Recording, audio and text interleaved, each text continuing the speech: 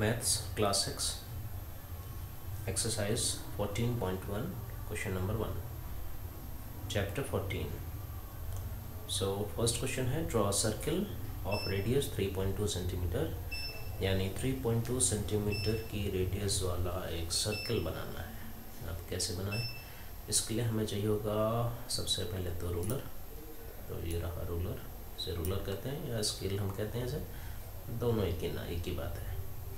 तो इसमें से सबसे पहले हमें 3.2 सेंटीमीटर की रेडियस का रेडियस को नापना पड़ेगा। सो so, 3.2 आप स्केल लें और ये यहाँ से तब से ये थ्री यहाँ से स्टार्ट करते हैं।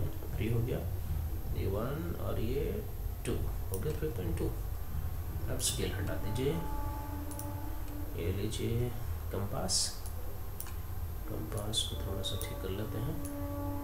नोट्स को यहाँ लगाइए।